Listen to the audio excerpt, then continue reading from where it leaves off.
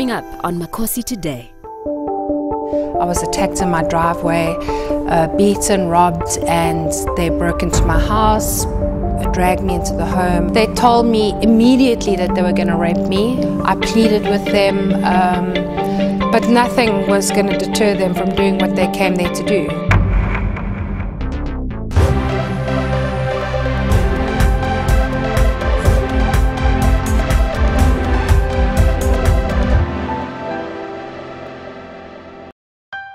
Laurie Owens is an award winning and well respected South African designer. Her work is themed romantic organic as she draws inspiration from the environment and her surroundings. Her work has taken her around the world as she specializes in boutique hotels, lodges, and private residences and has been featured in Elle magazine as well as House and Garden. On the 14th of June 2013, the unimaginable happened. Laurie was brutally attacked in her driveway. She was beaten, robbed, and gang raped by three men in her own home. This is a daily occurrence in South Africa where approximately 3,600 women are raped a day, and on average, only one in nine women report the rape. Laurie has not let this tragedy bring her down she has begun developing a personal security device to stop rape, child molestation, and violent crime. It's called Warrior, which stands for Women Against Rape and Everyone Against Rape. Makosi talks to Laurie about her attack, her feelings, how she has overcome, as well as the bracelet, Warrior. Welcome to Makosi Today. Thank you, and thank you for having me. 3,600 women are raped every day in South Africa. And unfortunately, you were one of them. What happened? You know, it's not just about women that are, are raped, men are being raped, children are being raped. And um, I was gang raped in my home, and I just like you said earlier on, you know, there's a lot of people who can't stand up and fight. For some reason, I have been able to put a voice to what's going on here because we have to do something about it, and I feel it's my duty. And I will spend the rest of my life doing something about gender violence and, and rape in this country. Um, what actually happened to me was I arrived home early one evening, Friday evening, half past eight. I was attacked in my driveway, uh, beaten, robbed, and they broke into my house, uh, dragged me into the home, and gang raped me. Um, I was very, very lucky because they, after they'd raped me, they tied me up again and um, started ransacking the house and I managed to uh, I pulled they put a towel over my head. I pulled the towel off my head and managed to get off the bed and hit the panic button which was on my wall security panic button. And as I hit the panic button one of them walked back into the room. He saw me hit the panic button and screamed to all the others and um, they sort of threw me under the mattress of the bed and ran. Um, you know so I, I don't know what would have happened. It could have gone on all night. Oh you know, it's just. But anyway, I um, have decided to take what happened to me, the, the trauma and the traumatic situation, and turn it into something that will help other people and other women and children and you know, nobody deserves to be raped, no matter what is going on in wartime. I mean, rape is not something new, but um, it's just the most awful violation that could ever happen to you. And uh, the fact that uh, South Africa is the rape capital of the world, um, we have to do something about it. And babies are getting raped. I mean, it's it's more than insane. Um, and so what I have done is I spent um, a good few months thinking about what I could do to have changed what happened to me because I knew nobody was coming home that night. And I have come up with a personal security device which will be worn on your arm. It is connected to your security system. Mm -hmm um, so it's like a panic button on your arm. It is also connected via GPRS so that if it gets broken or cut off, because with me they had a knife this long, they just cut all my clothes off. They took the earrings out of my ears while they were raping me. They take everything from you. Um, so they will break How many it. Were they? Uh, there were three raped me, and I think there was four, but I'm not 100% sure about the fourth one. Um, one of the guys has been arrested, um, and I won't rest until justice is done. Um, you know, there's a saying that the heavens are not aligned, and heaven is not happy when crimes go unpunished.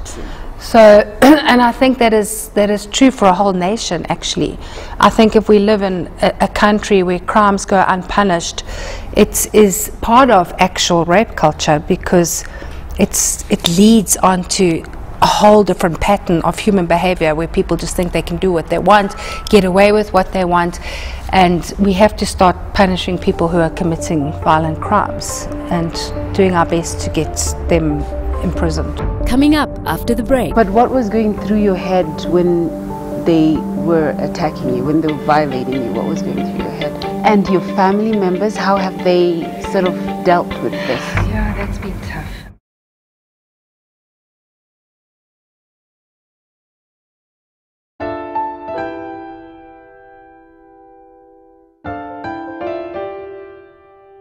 Like, what, but what was going through your head when they were attacking you, when they were violating you? What was going through your head?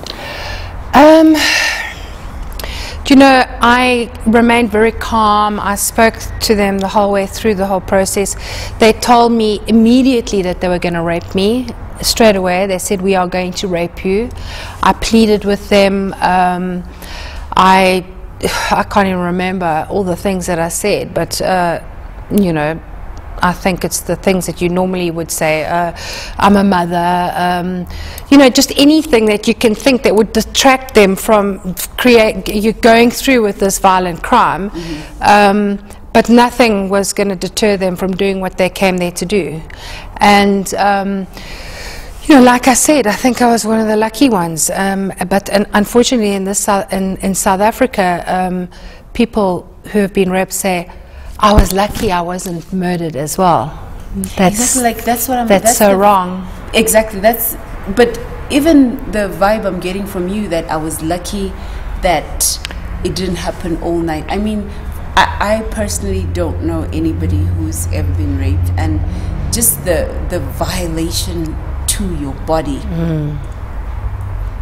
makes me so emotional but when we get to a stage where people say, oh, I'm lucky I was not killed, then it is actually a pandemic. Yeah, it's it's so bad. It's so bad. I mean, generally, uh, I think people who are living in townships and rural areas and what have you. I mean, this goes on all the time. I mean, I and know. That's why I'm here to talk to you, Laurie, because I. The first time I heard about you, I was watching Sky News. You came on, I thought, no, I, I knew you do design. Yeah. And, you know, but you came on and I was thinking, okay, this is absolutely amazing. The world knows we have a problem. But the people that are actually being affected by this problem don't have Sky. And that's where Makosi Today comes in because it goes into the yes. homes of those that don't don't they can't afford to subscribe yeah. but they've got a television. Well this is what's so fantastic about this this personal security uh, device that I've developed because um, it's all very well to develop a personal security device and it's a, a fantastic thing that we've got because it's going to stop people from being raped, people from being murdered, child molestation, old people with, uh, people with Alzheimer's, um, old people if they fall over, um, child trafficking. It child trafficking. Those 200 Nigerian girls that have just gone missing. If they had the bracelet. If one of those girls had the bracelet, she could have saved 200 girls' lives. True. Just one press of that bracelet, and 10 people that you nominate on your mobile phone get a message to say you're in trouble.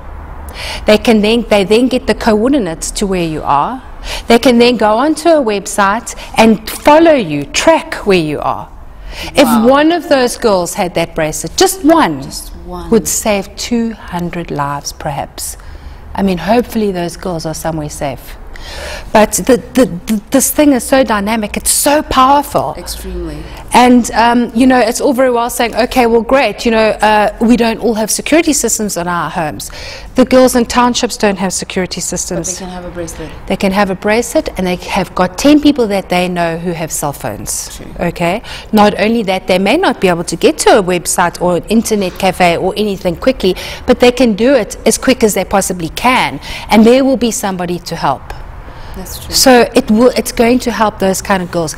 And Warrior, Women Against Rape and Everyone Against Rape, which is the NGO that we've started, is to provide this personal security device to rape survivors, to underprivileged girls, to school children, to people who can't, will never be able to afford this. True. So this is what the NGO is all about. We want to give it for free. And we need corporations on board. We need people on board because this is a fantastic device. If the corporations take it, they can um, they can brand it. It can be, become part of their branding. Every one they buy, we give one for free. That's true. So you know, it's it's it's something that is going to go right across the board, and exactly like you said, all very well being on Sky News, but we need to get to the people who really, really need us. Where do you get all this fire? You have been violated and now you you sit here and you are fighting for these voiceless people. Where do you get the fire? Um, I don't know. I think it's obviously part of my personality, and um, you know, I'm a Christian. I pray a lot about about this, and this is the direction I've helps. been absolutely, and this is the direction I've been I've been uh, guided in, and um, you know, because I have been gang raped, uh, I can I know what it, it's so devastating. It's so traumatic. It's it, it- it must be the worst thing that could possibly ever happen to anybody. And I can't imagine a little girl going through that. A little boy, a baby, and a lot of adults who just wouldn't, couldn't possibly cope afterwards. So I think that that's what drives me. Wow. And your family members, how have they sort of dealt with this? Yeah, that's been tough. Um, my daughter, who's been amazing, she's she's 25. She um, obviously was absolutely devastated, but she's a big part of the fight. Um, she works for the for the NGO, and uh, she's also dedicating her life to to helping. And um, yeah, it's been tough. You know, I had to fly to the UK to tell my mother. She's 83, and uh, that was very harsh. And you know, I fought with that. Do I tell her? Don't I tell her? But you know, how can I do what I'm doing now without having told my mother? told. And so, you know, and I needed my mum to know. I needed comfort from my mother. Do you know what I mean? Like Yeah. only a mother can give you. Yeah. So it was all good at the end of the day, but it's been very difficult for everybody. How has that affected your, if you don't mind me asking, do you have a boyfriend? I don't. Is it because No, no, and Okay. no, I didn't have a boyfriend at the time either. Uh, how will it affect my life in the future? Like, how, Uh, how does it affect you and relationships? Do you know? I don't know because I haven't. I haven't even been in a situation where I've been anywhere close to anything like that, a romantic relationship. But the one thing I do know 100% is that rape and and love and making love, there's nothing similar, or you know. They're so different. Rape is a violent crime. It is a violation of your body and it has nothing to do with intimate relationships. I'm trying not to get emotional because I don't want to set you off. Coming up after the break. Did you ever ask God why? Why me? Or how has the experience changed you as a person? Can I just have a look at what the bracelet looks like, just to lighten it up a bit?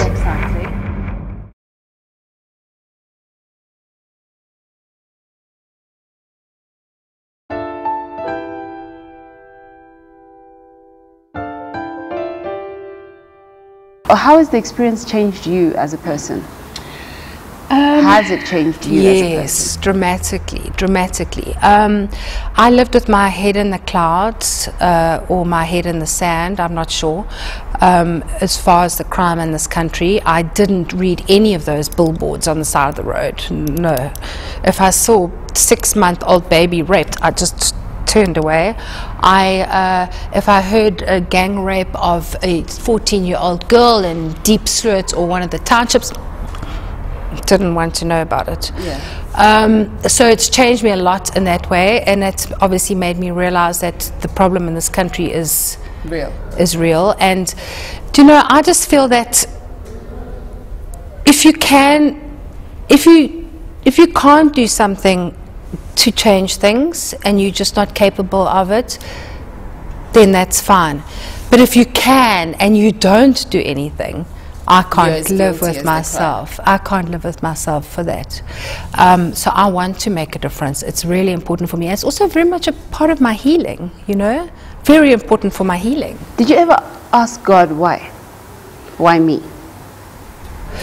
No, I didn't. I didn't ask God why me because I feel why me is because of what I'm doing now. Does that make sense? I feel that um, why I am able to stand up and speak about this and do and, and try my best to, to get other people on board to help me make a change. A part of our NGO is um, one of the objectives is to uh, educate against rape culture. Now, that sounds quite an easy thing to do, but actually, it's so involved and so deep and y- you don't even understand. And, and, and we are all a part of rape culture, swearing, just, you know, this is so many things that we do in our life are part of rape culture. And, um, well, first of all, it's lawless here, completely lawless. I mean, crimes go unpunished all the time. And uh, I'm a great believer in what the mayor did in New York, where they started with you getting prosecuted for small crimes. You drop a piece of paper on the floor. This starts making people be conscious of what they're doing and you're conscious of their effects on society. And, you know, if dropping a piece of paper on the floor, people start realizing that's not the right thing to do, it makes it harder for them to touch your body without you allowing it, or rape you, or steal from you, or beat you. Okay. Do you know, I That's think true. it's a whole education culture. thing, it's a whole cultural thing, and it's really deep. And, you know, we need to learn so much more about it before we can even educate about it. But, you know, uh, I, I don't know how true it is, but they say a huge percentage of rapists that have been um, institutionalized were raped as children. So it's the abuse becoming the abuser. Yes, yes. And what kind of children are we bringing up today? What kind of children are we bringing up today when men are out there raping and pillaging and taking what they want for themselves? Can I just have a look at what the bracelet looks like? Yes, so this is light- this is very exciting. So this bracelet has a transmitter and a receiver. So it acts like a panic panic um, a panic button, and um, it is. Um, it is connected to your security system. So when you're at home, it acts as a panic button. It's waterproof, so you can swim, go in the shower, in the garden with it. When you leave home, hijacking is a huge problem in this country. It's GPRS tends, sends a signal to 10 people on their cell phones mm-hmm. that you're in trouble. So this is not just for South Africa, it goes across the borders, This is right? the whole world. This, that's why this is going to take the world by storm. Once it gets undone, or once it gets cut off, the signal goes. Okay. And on top of it, um, this bracelet will be a deterrent. So when see the potential, bracelet, yes, they won't know. away. Laurie, I'm so honored to talk to you, and I'm so inspired by your strength, your inner strength to stand up and be that voice to the eight and nine that don't report. Because there's some people that are going to see you, they're going to think if it can happen to her, and if she can go and report. Because I think a lot of Africans don't report rape because they feel ashamed of what has happened to them and they feel it happened to me because of something that I have done. So a lot of people, I feel, are going to watch this and they're going to be so inspired. And the grassroots, it's the grassroots we're after. I'm not after people that can get onto Sky. I'm after those people that cannot, number one, and those people that see billboards and they look away. Thank That you was me. so much. That was me. I'd also just like to send a message to anyone who's been violated, um, raped, that um, it's never too late to report it. And on top of it, there is nothing that you could possibly have ever done to have warranted being raped. Nothing you did, nothing you wore, no matter if you were drunk, nobody has the right to violate your body under any circumstances whatsoever. I'm so grateful and honored to have been invited here by Laurie. She is so brave, and you can be brave too. If this has happened to you, if it's happened to somebody you know, if it's happening to somebody you know, speak out. It's not too late. And as Laurie said, there is nothing you can do or wear to deserve being raped. Nobody has the right to your body. Nobody has the right to violate you in such in such a way. Next on Makosi Today. Do all men cheat? I think all men think about it. I think all men get the opportunity. What makes you think you understand women? What makes you think you understand us? Understanding the way women think is largely starts from understanding how you think as a man.